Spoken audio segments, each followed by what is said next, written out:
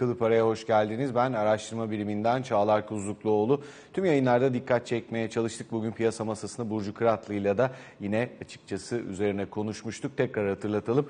Burada bir rozet görüyorsunuz. Bugün sabahta söylediğimiz üzere Dünya Otizm Farkındalık Günü. Tekrar hatırlatalım. 1980'li yılların ortalarında her 2500 çocuktan birinde görülürken son araştırmalara göre bugün her 36 çocuğun birinde otizme rastlanabiliyor. Bunun farkındalığı adına da üzerimize düşeni en azından bu şekilde ne kadar katkısı olur bilmiyoruz tabii ki ama yapmaya devam edelim. Umarız ki birçok insanın e, derdine de çare olsun, bilinç artsın, önüne geçelim diyelim. Gidelim bakalım haritamıza nasıl bir hisse senedi piyasası karşılıyor bugün bizi Avrupa'da. Ana endekslerde DAX'ta ve Kakaran'da %0,15'lik gerilemeyi ekranda görüyorsunuz değerli izleyicilerimiz. Britanya'ya baktığımızda da FTSE'de de benzer oranda bir yukarı yön var. Yani ana endekslerin pozitif ayrışanı FTSE. İspanya borsasında bugün satışlar devam ediyor ama İber Yarımadası'nda Portekiz'de %1'in üzerine yukarı yönde dikkat çekiyor. Tıpkı Polonya borsası gibi Avrupa haritasının açıkçası ortanın doğusu bir miktar daha bugün yeşillere bürünmüş vaziyette.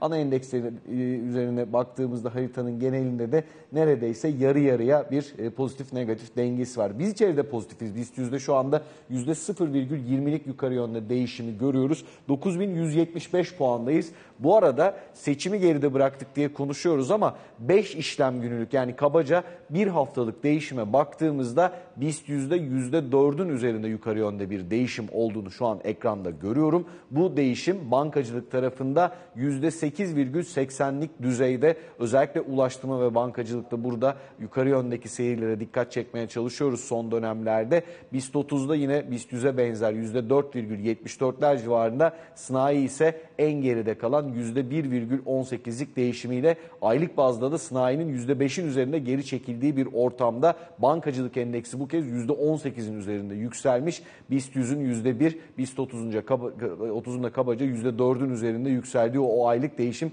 ekseninde. Dolar TL'ye bakıyoruz. 32.17'nin üzerindeyiz. Dolar TL'de dün özellikle akıllı para devam ederken yukarı aşağı yönlü hareketleri görmüştük. Daha çok aşağı yönlü 32'nin altına geldiği seviyeleri izlemiştik. Bugün 32,17 seviyelerinin üzerindeyiz. Euro TL dolar e, Euro dolar paritesinde 1.08-1.07 bandında kalınmasıyla 34,60'larda şu anda dikkat çekici olduğunu tekrar hatırlatalım. Gram altın 2334 TL'nin üzerinde çünkü ons altın 2250 doların üzerinde 2257 dolar şu an. Bu arada gümüş gerilerden gelip çok ciddi bir atak yaptı. Bakarsak 25,5 doların üzerinde olduğunu görüyoruz. Gümüşün %1,70'lik yukarı yöndeki değişimiyle dün altın ön plandaydı değişim anlamında. Bugün gümüş gerçekten fark atmış durumda %0,20'ler civarında ons altındaki değişim günlük bazda. Gümüşte ise %1,70'lik yukarı yönde değişim olduğunu görüyoruz. 2 yıllık gösterge tahvilimiz %44,37 düzeyinde. 2 10 yıllık gösterge tahvilimizde de %26,16 düzeyini görüyoruz. CDS'imiz seçim sonrasında 300'lere doğru çekilmişti. 304'ün biraz daha 305'e yakın olan kısmı yani 304,5'un üzerinde olduğunu görüyoruz ama haftalık bazda önemli bir geri çekilme olduğunu CDS'te de tekrar hatırlatalım. Spot dolar endeksi 105'lere yakın seyrediyor demiştik. Şu anda ekranda kırmızı ama 104,90 düzeyinde önemli olduğunu tekrar e, hatırlatalım. Çünkü özellikle para birimlerinin dolara karşı değer kayıplarında yine hassas bir dönemden geçtiğimiz süreçteyiz. Bunu açıkçası ihmal edemeyiz ve doların güçlü olması belki borsalarda şu an için en azından çok ciddi anlamda bir e, negatif fiyatlama yok. En azından sene başında yine beklentilere biraz daha paralel ya da iyi e, bir görünüm olduğunu söyleyebiliriz. Ama güçlü dolar teması yine e, özellikle gelişen ülke para birimleri üzerinde baskı yaratıyor gibi görünüyor ki 10 yıllık ABD tahvilleri şu an ekranda eğer bir hata yoksa %4,37'nin üzerinde. VIX endişe endeksi 14'ün üstüne atmış. Orada belki çok ciddi bir sinyal yok ama ABD 10 yıllıklarında biz %4,20'leri konuşuyoruz. Neredeyse %4,40'lara yaslanmış vaziyette. Brent petrolde 88,5 doların üzerine geldik. Hem WTI'de hem Brent'te %1,30'lar 40'lar civarında yukarı yönde değişim var. Ve WTI'de 85 dolara terslanmış vaziyette 84,90 doların üzerindeki görünümüyle gümüşte altını konuşmuştuk. Bitcoin'de de 66 bin doların gerisindeyiz. Kabaca %6'lık gerileme var. Özellikle e, diğer e, kripto e, varlıklarda da bugün baskının oluştuğunu gözlemliyoruz ki Bitcoin'de de biraz önce söylediğim gibi %6'lık bir günlük gerileme olduğu şu anda en azından haftalıkla da kıyasladığımızda neredeyse dünden itibaren işlerin biraz terse döndüğü gözümüzün önüne geliyor. 67.777 dolarlarda şu an ve gidelim buradan hemen bugün önemli bir konuğumuz var Avrupa ekonomisi Türkiye için, dünya için aslında hem barometre anlamında ama bizim bir numaralı ticaret partnerimiz Avrupa ülkeleri ve Almanya zaten. Ee, Bloomberg muhabiri Alexander Weber'le konuşacağız. Hi uh, Alexander. Merhabalar Alexander. Acaba Almanya'da şu anda en önemli konuşulan nedir? Özellikle de enflasyonla Yeah, hi. alakalı Um, olarak. Evet merhaba. Biz enflasyon rakamlarını aldık Mart'a ilişkin olarak uh, ve Enflasyonda bir miktar daha 2.3%. azalış olduğunu gösteriyor. That's pretty close to %2.3 the seviyesine yükseldi ki bu aslında Avrupa Merkez Bankası'nın. Hedefine çok yakın ki bu iyi back bir haber 2% Avrupa Merkez Bankası için ama tabii take a %2'ye bit ulaşması biraz daha uzun sürecek gibi duruyor ve özellikle de tabii ki genel olarak iyimser e, bir haber oldu Avrupa Merkez Bankası için. Alex, uh, we also uh, talking about uh, soft Aynı and, zamanda uh, yumuşak uh, inişten uh, bahsediyoruz. Hem uh, Avrupa'da hem de e, uh, ABD. So, tarafında büyümede, enflasyonda ayrışmadan bahsediyoruz. Acaba son PMI verileri?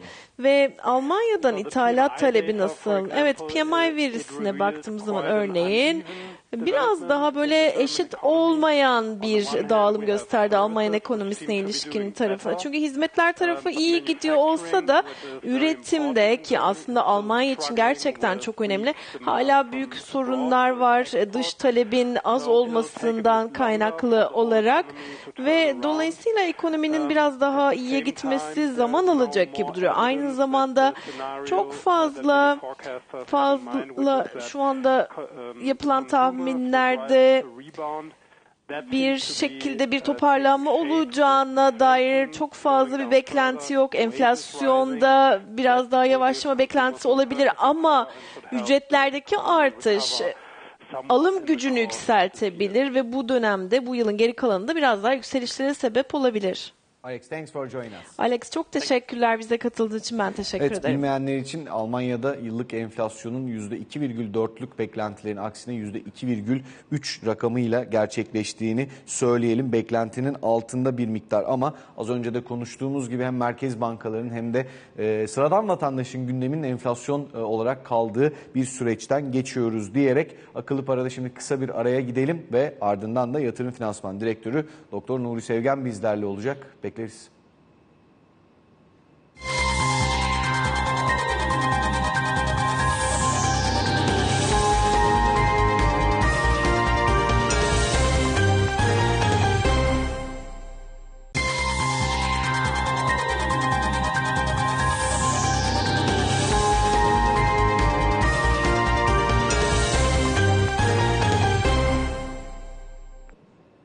para kaldığı yerden tüm hızıyla devam ediyor. Araya gitmeden de söylediğim gibi yatırım finansman direktörü Doktor Nuri Sevgen bizlerle. Nuri Bey hoş geldiniz.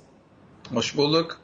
Şimdi e, akıllı para başlarken o günün e, özellikle terminale baktığımda benim için en dikkat çekici olan içerideki dışarıdaki tablosunu her zaman böyle vurgulamaya çalışıyorum. Bugün de hazır geçtiğimiz hafta Mart ayını ve ilk çeyreği geride bıraktık. Bir de yerel seçim vardı. Şükür ki herhalde e, şu ana kadar e, gelenlere baktığımızda sağ salim atlatılmış gibi demokratik e, Türkiye'nin geleneğine en azından yabancıların da şu an piyasa tepkisiyle yazdıkları raporlarla tasdik verdiği üzere ama şu dikkatimi çekti. Ben geçtiğimiz hafta ya işte seçim var ya da işte geçtiğimiz haftadan biraz önce ben şöyle portföyümü bir sağlam almak için fotoğrafını çekeyim elimde şunlar şunlar var diye bıraktım. Ama e, yeni ay başlarken de bakınıyorum. Baktım bankacılık endeksi aylık bazda %18,5'un üzerinde. Onu en yakın takip edebilen ulaştırma var. Hadi kabaca %8 diyelim %7,8. Buna bakıp ona göre hareket etmeli miyim? Yani sizin portföyüne göre mi hareket edelim? Tam anlamadım. Yani benim portföyüm değil elbette. İşte yabancı ilgisi, bankalara geliyorlar, holding vesaire diyoruz. Bir aylık değişimde de %18,5'luk bir bankacılık performansı, %7,8'lik, 8'lik diyelim hadi ulaştırma performansı. Çok güzel deyip hemen bu ikisine mi yönelmeliyim? Ya aslında şöyle bakıyorlar. Yani yabancıların geldiği hisselerde baktıkları şey parasal sıkılaşma devam ettiği sürece sanayi sektörü hisseleri borçlanmadan kaynaklı maliyetleri artacağı için e, bu işlerden en çok kar edecek olan finans ve e, bankacılık sektörü olacağı için bundan dolayı bir hareketlik var. E, diğer taraftan bankacılık sektörü hisselerinde zaten enflasyon muhasebesi uygulanmıyor. Diğer sektörlerde e, bilançolar 29 Mart itibariyle e, enflasyon muhasebesine göre bağlanmaya başlandı. E, bunların etkilerini gözlemleyeceğiz önümüzdeki günlerde. Ama yabancıların bakışı tarafından tabii çok fazla bakıyoruz ama yabancılar bizi çok fazla hafife alıyor diye düşünüyorum ben. Biraz hani demokrasi tarafından girdiğiniz için söylüyorum. İkinci Mahmut döneminden beri Türkiye'de seçimler yapılıyor. Avrupa'nın çoğu ülkesinden daha eskidir bizim seçim geçmişimiz, demokrasi geçmişi. Demokrasi belki yeni olabilir ama seçim e, geleneği ve geçmişi bizi çok eski. Dediğim gibi Avrupa'nın çok gelişmiş ülkesinden daha eski. O yüzden yani e, seçimler ve seçimlerin sonuçlarını böyle o falan yapmaları bana biraz garip geliyor. Bizi hala Orta Doğu ülkesi sanıyorlar ama biz çok net bir şekilde Orta Doğu ülkesi değiliz. Bunu da gösteriyor. Ee, burada sadece seçimleri dikkate almamızın sebebi ya da yabancı tarafından önemsenmesinin sebebi şu olmalıydı. Seçim sonrasında mevcut başkanlık seçimi e, rejimi sebebiyle acaba yine ekonomi kadroları yani kadrolar görevden alınır mıydı veya mevcut ekonomik e, öngörü değiştirilip yeniden farklı bir yola girilir miydi? Burada da işte bak resim Naci Abal döneminde yaşadığımız travma ya da onların yaşadığı travma diyelim. Çünkü o travmadan kaynaklı olarak hala tedirginlikleri var. E, o yüzden yabancı yatırımcılar tarafında hala net, yoğun, oluk oluk bir Türkiye akış söz konusu değil. Ufak tefek girişler var ve bu girişlerde biraz kısa vadeli portföy yatırımları şeklinde oluyor. E, bu rakamlar da hani Türkiye'deki hem borsa açısından çok fazla bir şey ifade etmiyor hem de Türkiye ekonomisi açısından bir şey ifade etmiyor. Peki yabancı gelir mi? Elbette gelebilir ama yabancı önünü görmek istiyor. En çok istediği şeydi yabancının yani Türkiye'nin dışında olan, Türkiye'ye yabancı olan bir insan e, finansçı olarak baktığınız zaman da ilk bakacağınız şey ben ülkeye para soktuğum zaman parayı istediğim maliyette istediğim zaman çıkarabilecek miyim noktası. Parayı elbette çıkarır ama maliyeti yükselebilir ki geçmişte bu tür durumları swapların gecelik 1800 lira 2000 lira çıktığı zamanlarda gördük. Yani gördüler. E, ondan dolayı da tedirginlikleri var. Yani e, bizde çift kur uygulaması yok. Mesela İran'a parayı soktuğunuz zaman çıkarmaya kalktığınızda çift kur uygulamasından dolayı %15-20 içeri girersiniz. Bizde öyle bir şey yok. Ama swap'tan kaynaklı olarak %1800 swap gecelik %3'ün üzerinde bir getiri demektir. Pardon götürü demektir. Bu doğal olarak ciddi şekilde portföylerindeki risklerinin büyümesine neden oluyor. O yüzden swap kanallarıyla ilgili netlik sağlanmadan yabancıların portföy yatırım yapması şu aşamada biraz zor gibi görünüyor. Ama bir yandan da Türkiye'deki faizler ağızlarını sulandırıyor. Çünkü e, aylık %4 faiz var ama adamların enflasyonu bile Amerikan enflasyonu %3.1. Bu noktada tabii ki çok önemli, değerli bir getiri söz konusu. Hisse senetleri piyasa tarafından da baktığınız zaman tabii ki çok değerli senetler çok ucuz fiyatlardan e, trade ediyor. E, bunun etkilerini gözlemleyeceğiz ama bir yandan da şöyle bakmak lazım. Türkiye borsu ucuz ucuz diyoruz da dünya borsaları da o kadar pahalı değil. Yani bir Mercedes-Benz'in FK'sı 6 ama bizde Ford Otosan'ın FK'sı 10. Yani baktığınız zaman Ford Motor Company'nin FK'sı 5-6 civarında. Yani e, Ford Otosan'ın ağa babası yani dünyadaki Ford Motor Company'den bahsediyoruz. Yani bir Goldman Sachs'ın FK'sı 10-13'ler civarında. Yani o kadar da ucuz değiliz veya ne bileyim Vodafone UK 2 FK ile işlem görüyor. Dünya aslında o kadar da e, pahalı değil. Biz de o kadar ucuz değiliz noktasına bakmak lazım. E, ve temettü ödemeleri e, şimdi oralarda kar payları çok daha etkin. E, yurt dışı tarafında özellikle Amerika gibi gelişmiş ülkelerdeki e, piyasalarda aylık temettü ödeyen şirketler var. Her ay düzenli temettü ödüyorlar. Bunlar e, borsa yatırım fonları bazıları. Bazıları bizzat hisse ve aylıklara bölüyor ya da 3 aylıkları dönemlerde ödüyorlar. E, doğal olarak yatırımcılar bunlardaki şeffaflığı gördükleri için bizdeki durumu netlik sağlayamıyor. Mesela Ereğli Demirçelik temettü ödeyecek. Ereğli Demirçelik'in endeksi çok etkisi var. Nisan'da mı ödeyecek, Mayıs'ta mı ödeyecek? Bunun fiyatlaması bizi ciddi şekilde yoruyor. Bunun gibi bir sürü şey var. O yüzden bu tür durumlar biraz da yabancının gelmesini engelleyen durumlar. Biraz hani uzattım mevzuyu ama yabancı tarafından baktığınız zaman o kadar da kolay değil. Bir de en önemlisi yabancı yatırımcı geldiği zaman özellikle portföy yatırım ve algoritmik trade ile geliyorlar. Şimdi algoritmik trade ile geldiğiniz zaman alış satış kotasyonlara girersiniz. E tamam hep al ama aldığınız sat noktasındayız. Yani açığa satış ve ödünç piyasası kapalı. E bu durumda ne oluyor? e, yabancı yatırımcılara işlem yapan kurumlar alım yaptıkları zaman yani long only çalıştıkları zaman aldıkları zaman piyasayı yukarı götürüyorlar. Sonra sattıkları zaman da tükaka oluyorlar. Niye sattı bunlar diye. Yani e, portföy yatırımları böyle bir şey ama sürekli kotasyon girebilecekleri bir işte aptik kuralında olduğu veya belki kaldırıldığı ama nihayet açığa satış ve ödünç piyasasının olduğu piyasada daha derin, daha likit, daha kolay girip çıkabildikleri bir piyasa olmalarını isterler. Çünkü bölgemizde en gelişmiş piyasa aslında bizimki. Yani Balkan bölgesinde işte belki Macaristan'la biraz belki yapışız ama gene daha iyiyiz onlardan. O yüzden e, işte Londra'ya en son yaptığım seyahatte de oradaki e, yatırım kuruluşlarının söyledikleri Türkiye piyasası bölgenin en derin piyasalarından biri ama marketin düzenlemeleriyle ilgili bir sürede kısıtlamalarımız var. Hadi seç, geçen sene e, deprem felaketini yaşadığımız için bunlar doğaldı ama hala bunun uzuyor olması ve devam ediyor olması bir sıkıntı. Yani sizi dinleyelim diye e, buradayız zaten. İstediğiniz uzunlukta gidebilirsiniz bugün. Vakit sıkıntımız Teşekkür ederim. yok. Sizin verdiğiniz konuyu ben aldım başka yerlere götürdüm gibi oldu ama. Aşk olsun hani ya. Ben hatta akıllı parada olmasak Mithat Paşa'ya kadar getirirdim bizim demokrasi kültürümüzle ilgili. Şimdi borsadan devam edecek olursak çok güzel bir noktaya getirdiniz aslında. Çünkü şunu sormak istiyorum. Ee, bizim bu seçimlerin raporla tasdikinden kastım zaten siz de öyle tarif ettiniz. Ya işte bir hengame olmadan o seçim süreci geride bırakıldı mı? Yabancının baktığı buydu. Endeksle ilgili o biraz önce dediniz ya gelmeleri bir dert işte çıkmaları bir dert diye. Şöyle bir e, senaryo kümesi gözlemlediniz mi? Türkiye'yi de dolaşıyorsunuz. Ya ben seçimden önce işte bir ne olur ne olmaz e, çok fazla işte kredi işlem bilhassa zaten faiz konusunda konuşuyoruz şu anda ama ya da en azından riskli gördüğüm e, varlıkları bir kenara bırakayım. İşte e, bankacılık ve ulaştırma son bir ayda elimde done olarak kalmış. Ha, baktık iki gün işlem günlerinde bir sıkıntı yok ya da bu hafta yok. Ondan sonra mesela bir yükseliş beklenmeli mi? Şu 9400'ü mesela artık bir geride bırakabilir miyiz? Bence bir süre daha bırakamayacağız diye düşünüyorum. Yani en azından mevcut doneler öyle. E, çünkü şimdi endeks e, yapısını biraz izah etmek gerekirse 100 tane hisse senedinin e, piyasada büyüklüklü üzerinden oransal bir şekilde dağıtımıyla oluşuyor. E, bu 100 tane senedinin hepsi de gitmiyor. Endeks 30 içerisindeki senetlerin bazıları genel hareketli içerisinde şu anda.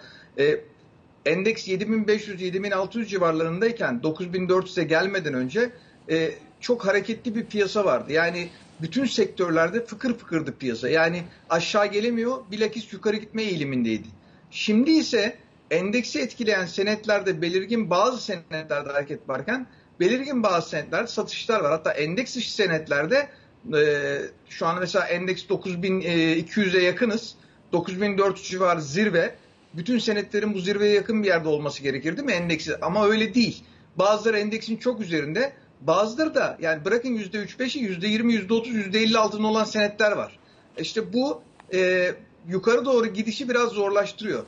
E, bunun da sebeplerinin başında ne geliyor? Bir kere paranın maliyeti geliyor. Yabancı yatırımcı gelmediği için yabancı yatırımcıyı biz niye seviyoruz? Yabancı yatırımcı geldiği zaman piyasadaki takastaki büyük kısmını alıyor ve piyasada likiditeyi aldığı için de doğal olarak yerli yatırımcı çok büyük kredi kullanmadan da piyasanın yukarı yönlü veya aşağı yönlü hareketlerinde para kazanabiliyor. Ama şu aşamada yerli yatırımcının üzerine büyük oranda yük bindiği için yabancı takısı 60'lardan 65'lerden %20'lere 30'lara geldiği için doğal olarak oradaki e, aradaki farkı e, krediyle sübvanse etmeye çalışıyor. E, kredi maliyetleri de arttı. Şu anda piyasada e, gecelik borç verme maliyeti yani oturup bugün repo yaptırsanız e, brüt olarak %52-53 civarında bir faiz var. Hadi bunu likit fonla yaptınız diyelim 50-52 civarında bir faiz alabiliyorsunuz. Bu sizin aldınız. Bir de borç tabii doğal olarak birileri bunu borç olarak alıyor sizden. Piyasada kredi kullanmaya kalksanız hisse senedi kredisi 80'ler 90'lar. Yani gecelik olarak %7 pardon aylık olarak %7-8 civarında bir maliyetiniz var. E şimdi bu maliyetle hisse senedi taşımak da ciddi bir risk. E, ciddi de bir maliyet. Hele bir de piyasada o senetlere sert bir satış geldiği zaman maliyetiniz katlanarak büyüyor ve margin call sebebiyle yani teminat tamamlama çağrısı sebebiyle diğer senetlere satış yapıyorsunuz. Geçenlerde işte Petkim'in taban olması tüm piyasayı bir şekilde e, negatif anlamda etkiledi. Çünkü endeks 30'da etkili bir senetti Petkim. İşte bu yüzdendir ki e, piyasanın bir süre daha yani bu maliyetler netleşmeden ya da bu e, enflasyon muhasebesiyle ilgili gelecek olan bilançolar netleşmeden büyük bir hareket yapacağını sanmıyorum. E, burada tabii maliyetler kolay düşecek gibi değil. Yani faiz oranları sıkılaşma devam edeceği için düşecek gibi görünmüyor. Ama borsa geleceği satın aldığı için gelecekle ilgili bir umut görmek istiyor. Bu umudu görmesi de fiyatlara bunların yedirilmesi lazım. Şu anda bu yedirilme sürecindeyiz. Yani endeks 9400 e, ve 9000 arasında gidip geliyor. 9000'in altına bazen sarkıyor, oralarda tutunuyor yatay bir hareket içerisinde. Yeni trend oluşunu ben eğer ekstra bir şey olmazsa 9400 üzerine çıkıp yeni bir trend oluşturmasını ben herhalde Mayıs belki Haziran'dan sonra olabileceğini düşünüyorum. Peki sizin de e, kendisine e, çok büyük e, sevginiz olduğunu biliyorum. Daniel Kahneman'ı geçtiğimiz hafta Çok severim, evet. adını andım. E, 90 yaşında uğurladık E, ve ister istemez e, geçmiş verilere baktığımız zaman Borsa İstanbul'da bilhassa şimdi biraz da artık mevduat faizinin elimizde seçenek olduğu bir süreçten geçiyoruz objektif bakarsak. Ama öte yandan da aynı işte endekslerin performansında konuştuğumuz gibi bir çerçeveleme etkisi olduğunu düşünüyor musunuz? Özellikle bizim küçük yatırımcı diye bildiğimiz kısımda bu yükseliş beklentileri ya da işte Petkim örneğini verdiniz. Belirli kağıt gruplarında ya tamam bu e, geçmişteki benim aklımdaki resim böyle bir noktadan sonra yine benim kafamdaki resme yaklaşır gibi bir psikoloji var mı şu an hisse yatırımcısında? Onu gözlemliyorum zaten. Şu aşamada ben genelde bu sen de sö- söyledin Türkiye'yi dolaştığımız zaman özellikle en çok gözlemlediğim şeylerden biri bu. Ee, ben bir de araba kullanmayı İstanbul'da sevmediğim için genel top taşımayı kullanıyorum. İnsanları da bir şekilde analiz etmeyi bu şekilde başarabiliyorum. Gördüğüm kadarıyla yatırımcılar şu aşamada borsanın yükseleceğini hala inandıkları için, hala umutlarını kaybetmedikleri için şu anda borsanın bir süre daha yükselebileceğinden emin değilim. Umutları kaybedildiği zaman da yükseliş oluyor. 7400-7500'lerde bunu gözlemledim. Birinci sıkıntı bu. İşte e, Kahneman ve Tversky'nin özellikle beklentiler analizi vardır bilirsin sen de. Yani e, %10 getirinin verdiği hazla %5'lik kaybın verdiği e, üzüntü aynı değil. Yani kayıptan kayıba karşı daha fazla duyarlıdır insan. O yüzden bundan dolayı bir tedirginlik var ve insanlar risk almak istemiyor. En büyük sıkıntı bu. Yani kayba karşı duyarlı olduğu için borsaya şu aşamada girmek istemiyor. Ama bir yandan da şöyle bir düşünce var. The enflasyon yüksek olduğu ülkelerde borsalar yükselir. Evet doğru ama şu aşamada faiz de yükseltti ve para sıkış, sıkılaştırıldığı için yatırımcı şu aşamada orada sıkışmış durumda. Ama uzun dönemli bana sorarsanız senetleri piyasası e, oldukça getirileri yüksek olacak bir döneme gireceğiz gibi görünüyor. Çünkü mevcut ekonomik kadrolarının yapmayı istedikleri şeyleri yapması durumunda ya da en azından bu adımların ciddileşmesi durumunda ki buradaki ilk temel bence beklediğimiz şey şu olmalı. Biliyorsunuz enflasyona mücadele ilgili yapılacak olan e, Mehmet Şimşek'in açıklamaları ve Merkez Bankası'nın yaptıklarının dışında kamu tasarruflarının ne olacağı en büyük soru işareti. Biz burada kamu tarafında bir tasarruf tedbiri noktasında önemli mesajlar görürsek borsa ondan sonra önünü görmeye başlayacak. Onun dışında enflasyonla mücadele konusunda net bir yön göremediği için acaba boşa mı hareket ediyoruz? Yarın öbür gün geçmişte olduğu gibi yeniden piyasalar bundan ha iyi derken kötüye tekrar dönebilir mi endişelerini taşıyor. O güvence bizde olmadığı gibi yatırımcılarda da yok, yurt dışı yatırımcılarda. O yüzden enflasyonla mücadelenin ilk şartıdır tasarruf. Yani bugün bir şirketim olsa benim, şirketimin daha iyi kar etmesini istediğim zaman bir danışmanla görüşmek istediğim zaman danışmanın ilk bakacağı şey şirketi incelerken benim giderlerime bakar. Giderleri daha da fazla azaltmak sonra da gelirleri arttırma politikasına gider. O yüzden bizim giderleri azaltıcı yani tasarruf edici tedbirleri hükümetin, kamunun önümüze koyması enflasyonla mücadele açısından ciddi bir güven verecektir. Bu da piyasalara olumlu yansır. Bu noktada böyle bakmak lazım. O yüzden borsa tarafında yatırımcılar bence umutlarını kaybetmesinler. Sadece bir süre buralarda yatayda gideceğiz e, gibi görünüyor. Senet bazlı hareketler olacak. Daha profesyonel hareketler olacak. Ama herkes 2022'deki o büyük hareketi özlüyor. Ama orada negatif reel faizimiz vardı. Ve en ucuz şey borsa kalmıştı. Bundan dolayı bir hareket vardı. Şimdi daha profesyonel bir piyasa var. Ve profesyonel piyasada yatırımcılara tavsiyem vadeli işlem ve opsiyon piyasasındaki faiz oranlarını takip etsinler. Spotta hisse senedi almak yerine bazen Viyop'ta o hisse senedinin vadeli kontratları spottaki faiz oranının daha düşükten işlem görüyor. Yani bugün siz %70, %80 krediyle bir hisse senedine ili de yatırım yapacaksanız bunun vadeli kontratına long yapmak daha avantajlı olabiliyor. Buralara bakmakta fayda var. Tabi leverage'ı doğru kullanmak şartıyla. Valla top taşıma e, kısmında aynı şekilde hareket ediyorum sizinle. Hatta piyasa davranışını açıklamak için bilhassa ön yargı ve çerçevelemeyi Yeni Kapı Aktarma Merkezi'ne götürüp insanları yarım saat izlemek yetebilir bence. Yürüyen merdivenlerde ve asansörde. Buradan konuyu CDS'e ve Türk Lirası'na getireyim. Şimdi e, biz borsaya bu kadar fazla yoğunlaştık son birkaç senede toplum olarak ama Türk lirası ile ilgili de çok ciddi e, bizim en çok gözümüzün oraya döndüğü dönemler vardı. Biraz geri planda kalıyor artık. Özellikle seçim öncesi ve sonrası böyle bir e, akciğer filmine bakar gibi daha dikkatli bakıyorduk ama bu sefer öyle bir şeye gerek kaldı mı? Neler gözlemlediniz geçen hafta ile bu hafta arasında? Yani CDS tarafında gördüğüm kadarıyla çok büyük bir hareketlik, olumsuz anlamda olmadı. Olumlu anlamda bir miktar daha olumlu bir hareketlik var. Yani 313'ler civarındaydı. Gerçi son rollover döneminden dolayı 340'a çıkmıştı. Ee, ama şu anda 305'ler, 310'lar arasında gidip geliyor. Ee, burada bir sıkıntı yok. Yani Türkiye'ye doğru yatırım bir sorun yaşamıyor. Herkes yani yabancı yatırım, Türk lirasına yatırım yapmıyor ama Türk varlıklarına yatırım yapıyor. Yani CDS'lerine yatırım yapıyor. Türk Eurobondlarına yatırım yapıyor. Nasıl yapmasın? %11.8 kupon faizi olan tahvillerimiz var. E doğal olarak bu yatırımcılar için cazip geliyor. Bugün Amerikan tahvillerini almaya kalktığınız zaman 31 Aralık vadeli Amerikan tahvili bakın bu senenin 31 Aralık'ından bahsediyorum. Tahvilin üzerindeki faiz oranı %5.2 neredeyse.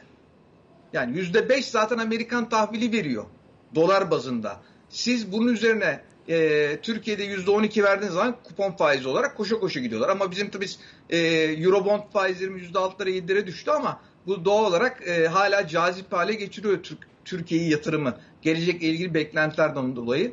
E, tabii burada bir şey daha söylemek isterim. Bir çıpalama etkisinden de bahsedeyim hazır Kahneman'dan bahsetmişken.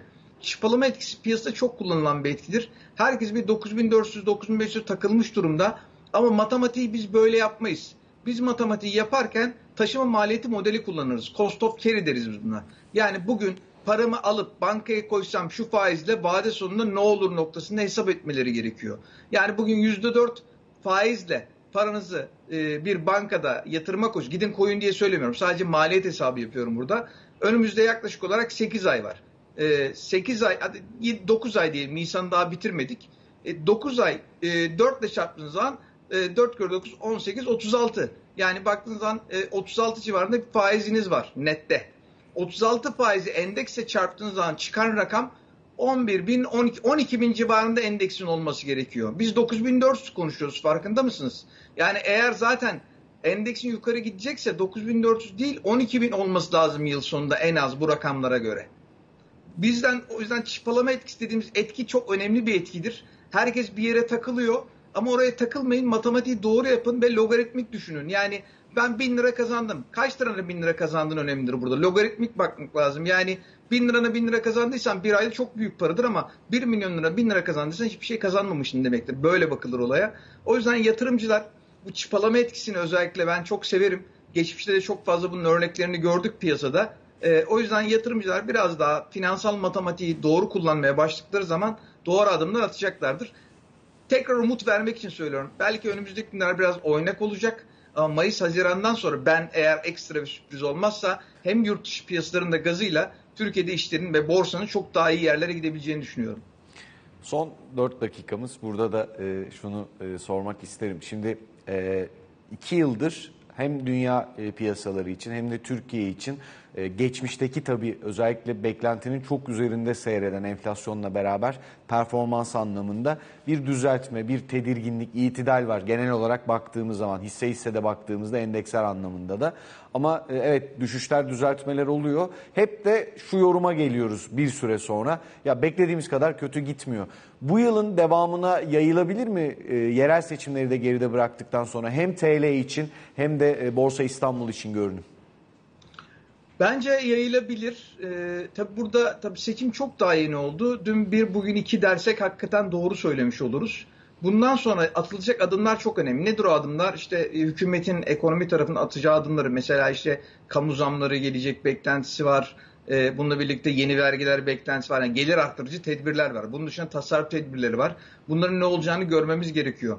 Bunlar oturduktan sonra işte önümüzdeki dönemde enflasyonun belki revize edilmesi söz konusu olur mu olmaz mı? Olmazsa paranın daha da sıkılaştırılacağı gibi adımlar var. Bunları önümüzdeki birkaç hafta içerisinde netleştireceğiz diye düşünüyorum ki o da zaten e, Mayıs en geç Haziran'a sarkacak dediğimiz şey bu. Ondan sonra önümüzde artık seçim olmayacak gibi görünüyor. Yani e, en azından hukuken yani böyle bir şey e, meclis çoğunluğu AK Parti ve MHP'de olduğu için böyle bir teknik olarak ancak Cumhurbaşkanı'nın erken seçime götürmesi lazım. E, şu aşamada erken seçim gündemde olmadığı için en azından e, fiilen e, bu da önümüzdeki dönem seçimsiz bir dönemde e, ekonomi politikalarının uygulamasıyla ilgili ciddi bir zamanımız olduğunu gösteriyor. Bu zamanı doğru değerlendirebilecek adımlar atılırsa borsa her şeyden önce ön plana çıkacaktır. Çünkü borsa her şeyden önce geleceği satın almayı sever. O yüzden hep şu örneği veriyorum. 2013 yılında Türkiye'nin notu iki kademe birden attı yatırım yapılabilir seviyeye. ikinci bir kuruluşta verdikten sonra borsa düşmeye başladı. Neden diye herkes soruyordu. Çünkü o zamana kadar borsa hep yükselmişti. Bunu satın almıştı. Gerçekler satılır, beklentiler alınır. Şu anda beklenti alma noktasına yaklaşıyoruz. O yüzden şimdilik daha erken ama sanıyorum birkaç hafta sonra yani Mayıs, Haziran gibi benim beklentim piyasada olumlu havaların dönebileceği bir noktaya gelebiliriz. Tabi burada ekonomi politikaları ve atılacak adımlar çok önemli. Peki borsada da son 1-2 dakikada hikayeyi sene boyu o e, bizim e, rasyonel izlenen para politikaları ve enflasyonla ilgili kat ettiğimiz mesafe taşımaya devam mı edecek yılın kalanında? E, bence edilmesi gerekiyor. Beklentim o en azından. Ben hani pozitif taraftan bakmaya çalışıyorum. Dediğim gibi geçmişte bununla ilgili yapılan bazı hatalar var ve en büyük travma da yabancılar açısından işte Naci Abal'la yaşanan e, o durum, o, özellikle yabancıların burada ciddi zarar etmesine de oldu. Yabancı yatırımcı bir güvence bekliyor ve bu güvence için adımların atılmasını bekliyor. Türkiye diğer ekonomilerden çok daha iyi durumda ve çok hızlı şekilde adaptasyon sağlayabilir piyasalara veya ekonomisinin önemli şekilde adım attırabilir. Bunu dediğim gibi görmemiz lazım. Yani ben hani yıl sonuna kadar piyasanın önemli bir çıkış, borsa açısından önemli bir çıkış olacağını düşünüyorum. Ee, bu noktada e, faiz tarafında da bence yükselme belki bir miktar daha sıkılaşma anlamında. Çünkü Merkez Bankası bandı 300 bas puana çıkardı. E, 150 idi şu anda 53 ile borçlanıyor ortalama olarak. Fonla maliyetleri 52-53'te gidiyor. Belki miktarda sıkılaşma sebebiyle yükselebilir faizler. Ama enflasyon sürecinde bu adımları gördükçe bütün piyasa bir şekilde daha rahatlayacaktır. Ee, daha iyi yerlere gelecektir diye ümit ediyorum. Dediğim gibi önemli olan güveni verebilmek. Çünkü yeniden kahnemana geleyim izninizle.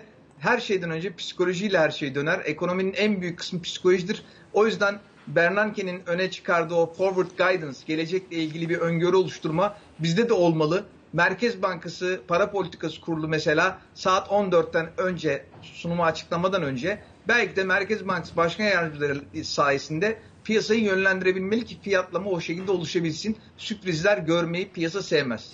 Biz de sistem 1 ve sistem 2'yi etkin olarak kullanalım onun sayesinde. Evet kesinlikle hep sistem 1 ile gitmeyelim. Çok doğru söylediniz. Yatırım Finansman Direktörü Doktor Nuri Sevgen'le davranışsal finansa, davranışsal ekonomiye dair de bol bol aralara e, not düştüğümüz keyifli bir sohbet gerçekleştirdik. Çok teşekkür ediyoruz kendisine. Ben teşekkür ederim. İyi yayınlar diliyorum. Sağ olun ve bugünkü akıllı paranın sonuna geliyoruz. Yarın tekrar görüşmek ümidiyle. Hoşçakalın.